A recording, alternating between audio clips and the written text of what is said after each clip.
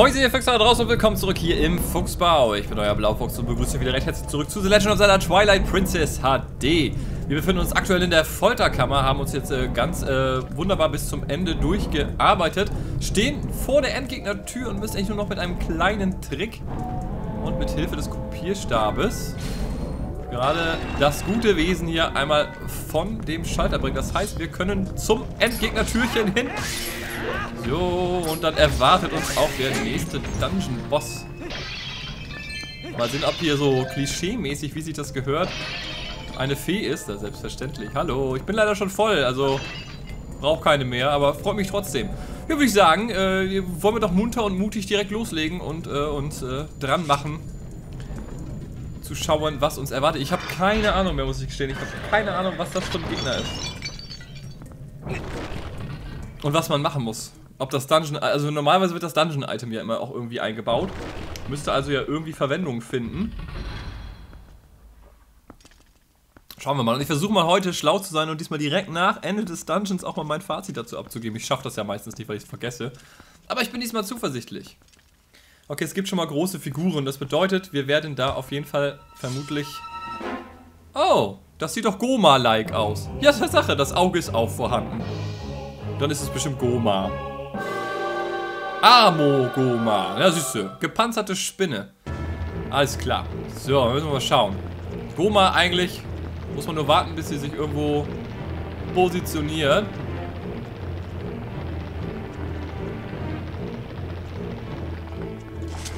Dann muss man ins Auge schießen. So. Okay, und jetzt, ich habe schon so eine Ahnung.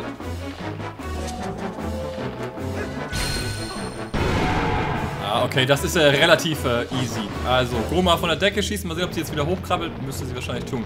Goma wird sich immer irgendwo bei einem so einem Lichtstrahl positionieren. Dann schießen wir ihr ins Auge. Ich hoffe, sie macht das jetzt auch wieder. Und hauen mit einer Statue drauf. Oh nein, es, es gibt noch wer. Also sie macht noch was anderes. Sie legt kleine Eier ab. Herrlich. Ah, das sind diese Viecher. Na, wunderbar.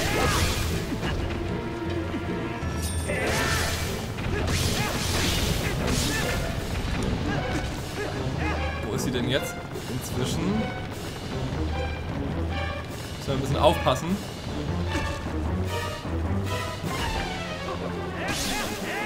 Oh, es ist wieder soweit, es ist wieder soweit. Oh. Oh, scheiße. Okay, das hat geklappt. Okay, okay, okay, okay, okay. Ich bin dabei, ich bin dabei, ich bin dabei. Warte, warte, warte. Bums! Okay, soweit, so gut. Die Viecher sind ganz gut, weil die uns an sich, wenn man sie dann mal trifft, ordentlich Herzen organisieren. Also das lohnt sich durchaus. Kann hier gut Herzen einsammeln. Kackt die jetzt wieder oder gehst du doch wieder... Also gehst wieder in Eilegeposition. Ist okay.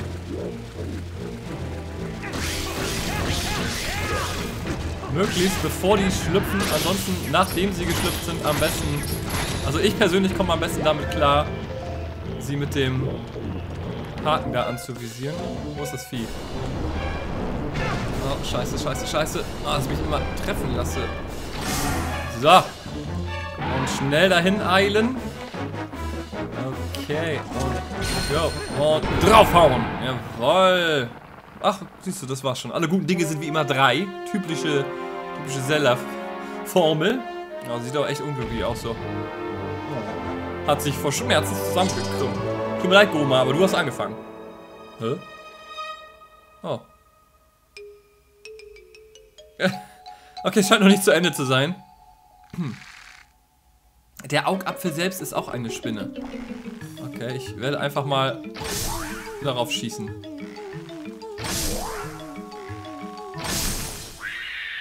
Scheiße, Mann. Hat funktioniert. Ah, der Rest stirbt dann gleich mit. Sehr gut, sehr gut musste man sogar noch mal noch ein bisschen für seine Herzzell arbeiten. Und der nächste Spiegel, beziehungsweise die nächste Spiegelscherbe, ist in unserem Pfötchen.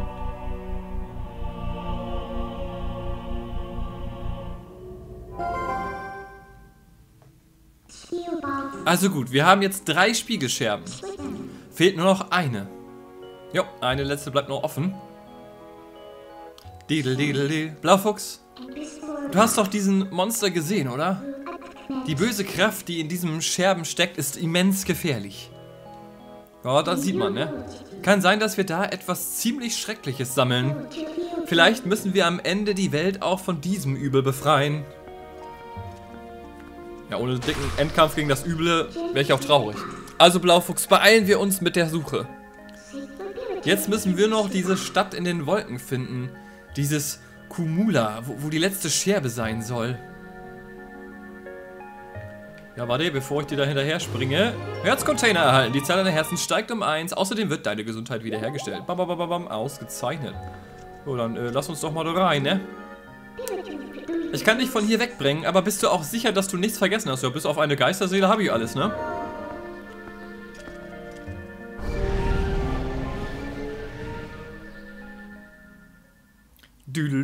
So, daran denken, Fazit abgeben.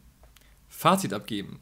Machen wir jetzt direkt. Fazit abgeben. Also Fazit zum Tempel, äh, meiner Meinung nach einer, auch einer der besseren. Mir hat das äh, sehr gut gefallen, dass man sich erst einmal durch den Tempel durch äh, rätselt sozusagen, um dann am Ende den Kopierstab zu finden und damit diese riesige Statue steuern zu können und dann quasi den gleichen Weg einfach nochmal wieder zurückgeht, aber halt quelllastmäßig alles kaputt hauen kann und die Rätsel sich leicht ändern, weil man ja dann auf einmal die ähm, Statue mit sich mitschleppen muss also spielt bei mir auf jeden Fall relativ weit vorne. War einer der besseren Tempel, hat mir sehr gut gefallen. Auch der Endboss fand ich ganz gut, war ganz lustig gemacht. Vielleicht ein bisschen zu einfach, wenn man gleich wusste, gut, man, als Zelda-Veteran weiß man, was man machen muss. Aber hat mir gefallen, mal in der, im, im der Zitadelle der Zeit sozusagen zu sein. Mal ein, als das als Tempel ist auch mal was Neues, weil sonst kennt man es halt nur, also bis jetzt kannte ich es halt nur durch Ocarina of Time als äh, das Portal quasi durch die Zeit. Aber als konkreten Tempel habe ich es noch nicht erlebt, hat mir auch sehr gut gefallen. Also durchaus einer der besseren. Hat jetzt selbst so keine Geschichte erzählt, ähm, war aber trotzdem dennoch sehr spaßig, sehr gut und auch nicht zu kompliziert, nicht frustrierend oder sowas. Auch nicht zu lang. Alles eigentlich tuppi toppi. Hat mir gefallen. So, jetzt äh, gehen wir zunächst einmal wieder zurück. Hier hinaus. So, kann ich euch jetzt eigentlich bewegen? Geht das? Nö, die nicht. Aber es gibt einiges, was wir mit dem Kopierstab jetzt machen können. Können wir die bewegen? Mal gucken, das müsste nämlich gehen. Nips, da seht ihr. Und wir können jetzt einiges bewegen und tun und machen. Abbrechen. Ist dahinter denn jetzt was? Mal sehen. Ah, es geht hier auf jeden Fall in einen kleinen, geheimen, versteckten Raum. Und es ist uns damit jetzt auf jeden Fall möglich, einiges an weiteren Herzteilen zu organisieren. Da geht jetzt schon ein bisschen was, das kann ich euch sagen. Also wir können im Grunde jetzt erstmal wieder loslegen und Herzteile sammeln. Zumindest ein Herz sollten wir locker voll kriegen. Ich denke, das ist auch das nächste, was wir machen. Wir holen uns erstmal kurz Info, wie es weitergeht. Dann wollte ich einmal äh, in Hyrule Stadt auch noch bei dem Goldmenschen vorbeischauen und gucken, weil wir haben doch einiges an Geisterseelen inzwischen gesammelt. Das müssten eigentlich schon 20 sein. Und gucken, dass wir uns da noch was abholen an Belohnung. Weiß gar nicht, was es gibt. Ach, gucke mal. Oh, warte, warte, warte. Moin. Na? Na komm her. Na komm her.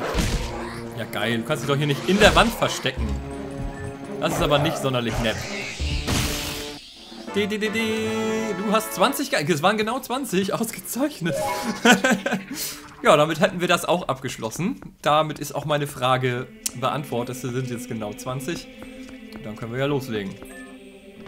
Sehr schön. Gut machen wir das erstmal. Ich muss gleich mal nebenbei mal auf meine Webseite gehen und nach Herzteilen gucken. Bap, bap, bap, bap, bap, die haben noch so eine schöne Übersicht, weil auswendig weiß ich das wirklich nicht. Da habe ich aber auch kein Problem mit nachzugucken. Stört mich persönlich jetzt nicht. Gute Arbeit, mein Freund. Wir haben gefunden, was wir gesucht haben. Es ist der Kopierstab, den du im Schrein gefunden hast. Aber das Ding ist schon ziemlich alt. Wahrscheinlich hat es seine magische Kraft inzwischen verloren. Ach, was soll ich nur tun? Dabei dachte ich, wir könnten endlich in die Wolken zurückkehren. Hätte ich nur den Zauberspruch nicht vergessen, mit dem man die Magie des Stabs wieder erwecken könnte. Da kann man wohl nichts machen. Vielleicht sollte ich zunächst die Statue suchen, die auf den Kopierstab reagiert. Also so gut. So werde ich es machen. Also dann, ich bin schon auf dem Weg. Bis bald. Ja, geh, geh mal gucken, ne?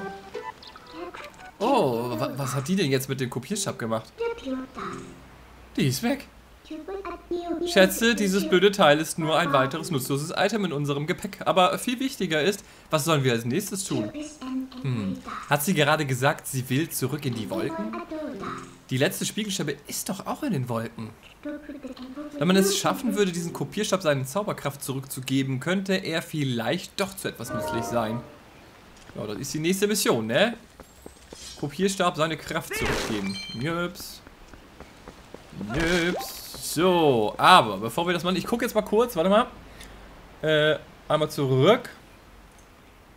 Ich guck mal eben hier nebenbei nach Herzteilen. Wo ist denn die Herzteilliste? Twilight Princess.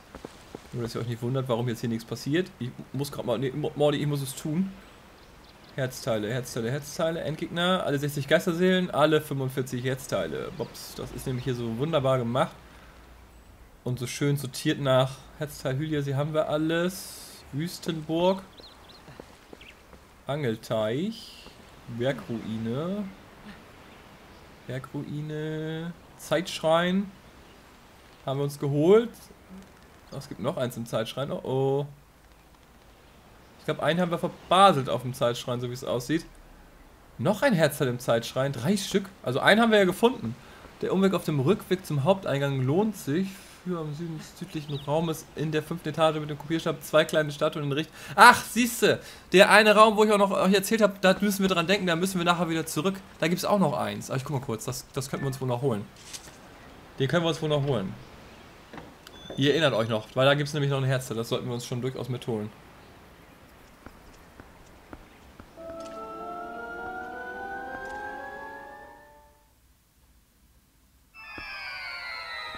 Zwei hatten wir, glaube ich. Eine fehlt nämlich noch. Lass uns nochmal auf die Map gucken. Das ist noch nicht die Map des Schreins. Einer dürfte noch fehlen. Und halt die Geisterseele. Wenn wir jetzt... Aber ich glaube, ja, für das Herzteil brauchen wir die Statuen nicht. Insofern können wir uns das eben fix noch holen. Ich würde jetzt nicht wieder den ganzen Tempel nochmal durchlaufen, nur für eine Geisterseele. Zumindest jetzt noch nicht. Ich hatte jetzt nicht unbedingt den 100% Anspruch. Muss gestehen. Aber schauen. Das sollten wir noch machen. Herzteile sind auf jeden Fall sinnvoll. Das sollten wir uns noch eben holen. So, lass mich doch nochmal auf die Map gucken. Map, Map, Map, Map, Map, Map, Map, Map. Karte. Hier ist keine Kiste mehr, keine Kiste mehr, keine Kiste mehr, keine Kiste mehr. Eine Kiste. Das ist nur diese eine. Das wird die sein. Muss die sein. Da, da sieht man auch, da unten sind diese zwei Streifen. Boah, müssen wir da nur erstmal wieder hinfinden. Wo war denn das?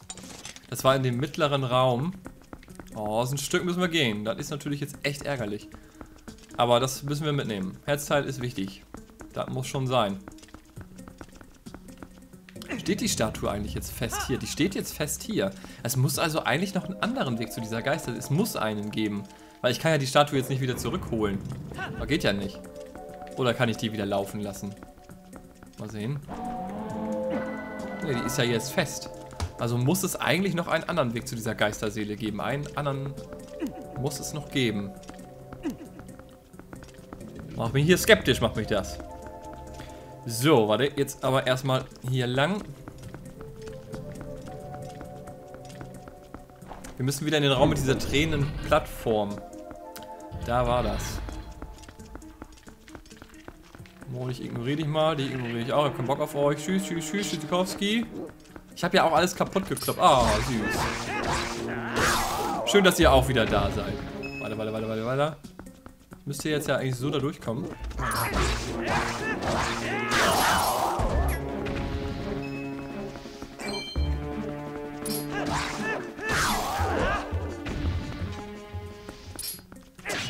Na, komm her, du. Hoppala. Na, komm her. Mal lieber ab.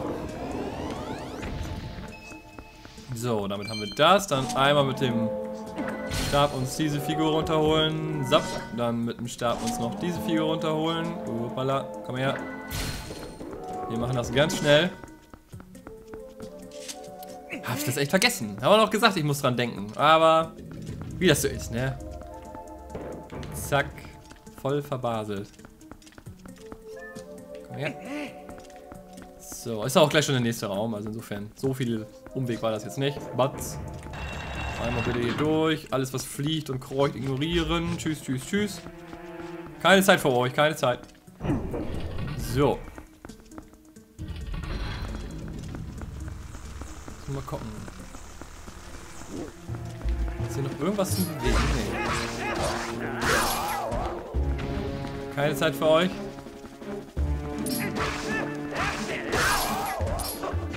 Vielleicht ist auch in dem Ding drin ein Schalter.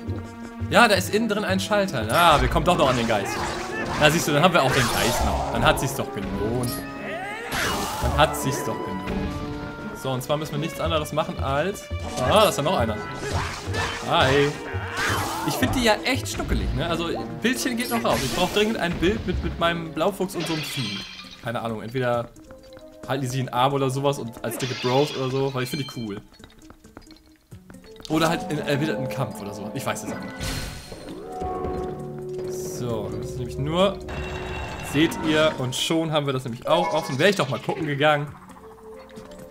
So, na, komm ran, du. Komm ran, du.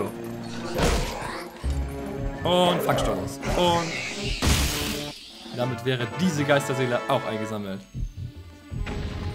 Auf dem Ausrüstungsbildschirm kann ich das sehen. Wie viel habe ich denn jetzt? Ich dachte, es wären schon 20. 21, doch, also es sind tatsächlich 21. Bedeutet, wir können jetzt dann mal zu dem guten... Beißen, beißen, beißen, beißen, beißen! Ja. Da muss ja auch mal wieder ein bisschen als Wolf unterwegs sein, ne? Mach ich viel zu wenig. Was eigentlich nämlich ziemlich OP als Wolf, muss man einfach sagen. Na gut, das hat sich jetzt auch schon wieder erledigt als Wolf. Komm her. Wir brauchen dich. Los. Oh, bin ich ein bisschen langsam gewesen, du. so, war das jetzt, ich glaube es war, war das hier drin? Warte mal. Nee, andere Seite. Muss einmal auf die andere Seite rüber. Wie kamen wir denn da rüber? Ich weiß schon gar nicht mehr. Einfach rüberlaufen, glaube ich, ne? So einfach kann es sein. Ja. Oh, dann können wir uns da nämlich noch ein Herzchen holen. Ach, scheiße. So einfach war es doch nicht. Oh, und die Figuren noch.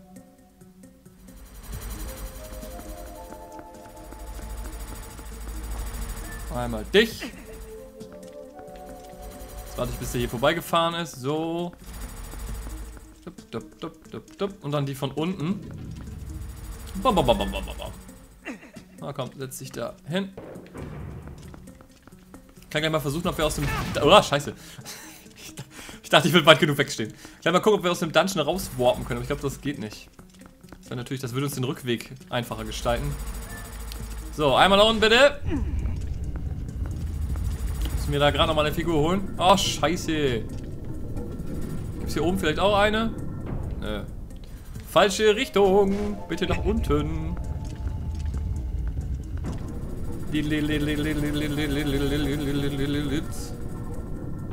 Und noch weiter nach unten.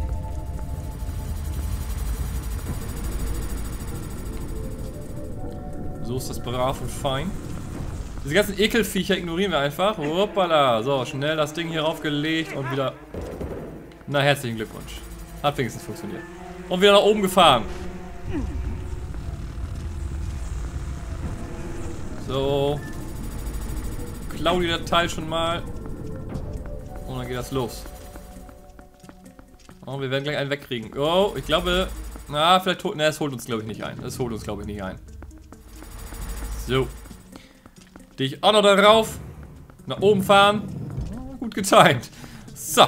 Dann können wir uns nämlich jetzt hier noch das Herzteil holen. Hm. Muss das denn sein hier?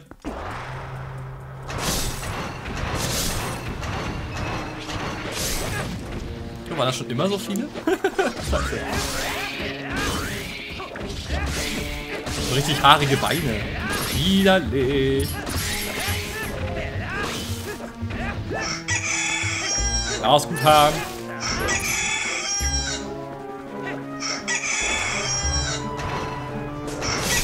Ich will gerade noch die Viecher weghaben. Oh, das hat nicht. So, warte, wir müssen kurz den Hahn ausmachen. Ein nerviges Nervbolzenvieh. So.